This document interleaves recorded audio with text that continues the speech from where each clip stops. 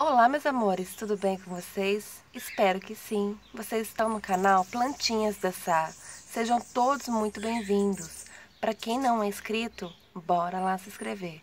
Pessoal, hoje eu venho mostrar para vocês essa linda rosa do deserto. Filha única aqui em casa, eu falo tanto na flor quanto no, vasinho. É a única rosa do deserto que tem aqui em casa. Não temos ela há muito tempo.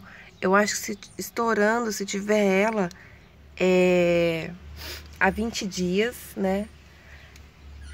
Nunca fui muito interessada por rosa do deserto, confesso pra vocês, sabe? Assim, sempre achei lindas essas coisas assim, né? Mas sempre quando vou fazer umas comprinhas de plantas assim, não era o que me atraía logo de cara, de verdade. Não vou ficar falando, ah, é porque eu sempre gostei, sempre quis ter. Não, eu não era uma coisa que me, nossa, eu quero. Não me importava muito, né? Deixa eu filmar ela direitinho pra vocês. Enquanto eu vou falando, vocês vão admirando ela. Enfim, não era uma coisa que me atraía muito, assim. Eu achava bonito, mas nem, nossa, eu quero, quero, preciso de uma rosa do deserto. Não, não era assim.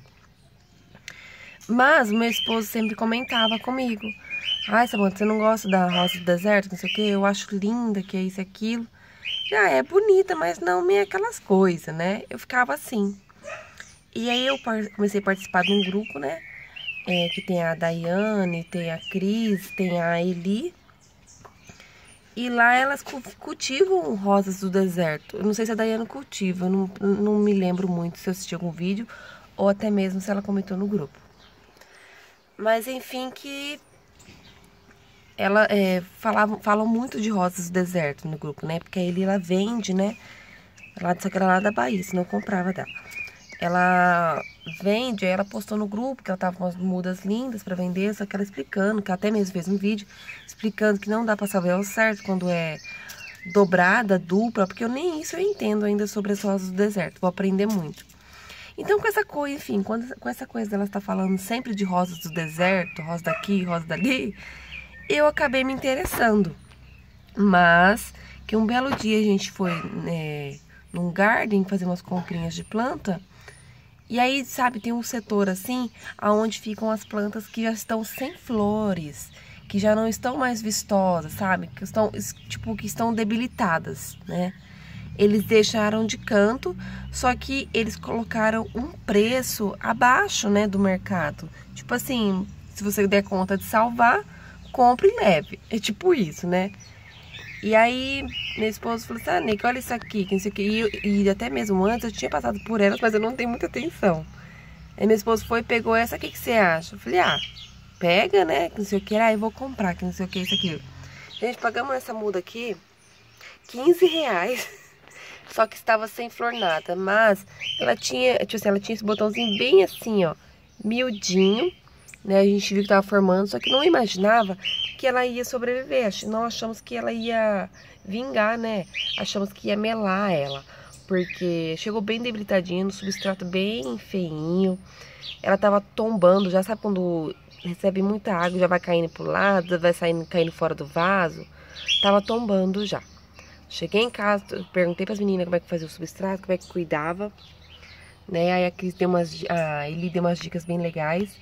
E aí eu peguei e fiz o que tinha que ser feito, como elas falaram. Coloquei elas aqui e fui cuidando. Fui cuidando, cuidando.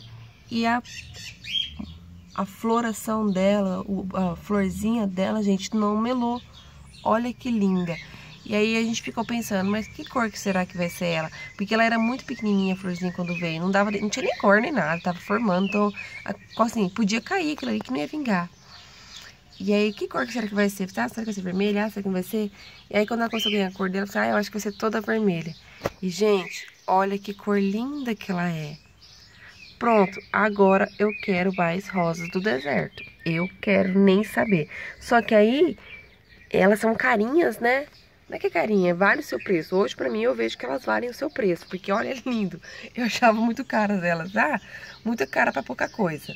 Mas, de fato, elas valem porque olha a beleza delas, elas valem o seu preço, né? Então eu vou, futuramente, quando sobrar mais uma grana aí, eu vou estar tá indo lá nos garden e vou estar tá pegando as mudas dessas assim, as, as de recuperação. Eu não vou saber qual cor é, que eu vou comprar sem floração. Provavelmente pode ter uma florzinha ou outra pendurada, assim, murcha. Mas não... Provavelmente, é, mas mais certeza que eu vou pegar assim sem minha dedicação. Ah, mas você vai pegar da mesma cor? Vai que você pega da mesma cor? Não tem problema, gente. Porque eu achei muito linda. Eu vou começar a querer colecionar minhas rosas do deserto. Porque olha como que é linda, gente. Linda, linda, linda. Não é difícil de cuidar não, né? Tá super vistosinha. As folhas não estão muito é, verdinhas, não sei se ela tava sofrendo muito, mas ela está começando... Quando ela chegou aqui em casa, estava bem opaca as folhinhas dela. Aí agora tá começando a ganhar um brilhinho a folha. E a flor tá perfeita, gente. Olha que linda. Eu molhei a minhas plantas agora de manhã, né? Olha que linda, gente. Pronto. Mais umas para mim, mais peças para mim colecionar. Rosas do deserto. Eu quero mais, gente. Quero nem saber. Eu quero mais. Ó, você tá vendo que aqui, ó, aqui tava podre. Então ela vem, tava bem sofridinha, gente. Tá, vamos tentar salvar. Se conseguir, conseguiu, né? Ó, ela tava podre, assim. Mas eu vou cuidar dela pra ela continuar linda, assim, se desenvolvendo super bem. Eu nem sei se rosa do deserto, gente, tem cheirinho. Eu vou conferir aqui. Gente, não tem cheirinho, não tem. Realmente eu quero mais rosas do deserto, pessoal. Gostei muito mesmo. É, para quem cultiva rosa do deserto, quiser dar umas dicas para mim, porque eu não. É minha primeira, né? Aí quando chegou em casa, minha esposa até falou, né? É minha rosa do deserto, não sei o que, isso aqui. Eu falei, ah, então tá bom, é sua. Mas aí ele pegou e falou pra mim depois. Não sei se estava no deboche, tá? Mas ele falou pra mim assim, não, é pra você, que isso aqui, isso aqui, pra você cuidar. Porque ele sempre go ele gosta muito dessas coisas assim, sabe? De caule grossinho, de tronquinho, essas coisas assim, sabe? Tipo bonsai. Mas eu não era, não era aquelas coisas que me interessavam muito. Mas me encantou. Olha, a rosa do deserto conquistou meu coração, gente. Achava sempre linda, mas não uma coisa que pra me enlouquecer. Mas agora eu quero coleção dela. Olha isso aqui. Perfeita, né, gente? Perfeita. Vou começar a cultivar mais. Quando eu comprar mais, eu vou mostrar pra vocês, tá? Muito linda, né? Ela tá aqui, ó, na minha prateleirinha, né? Com a minha prateleirinha de assim. Ela tá aqui, junto com as outras.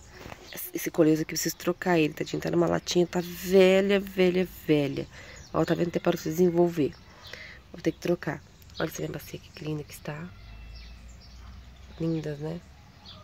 mas eu vou colecionar mais dela.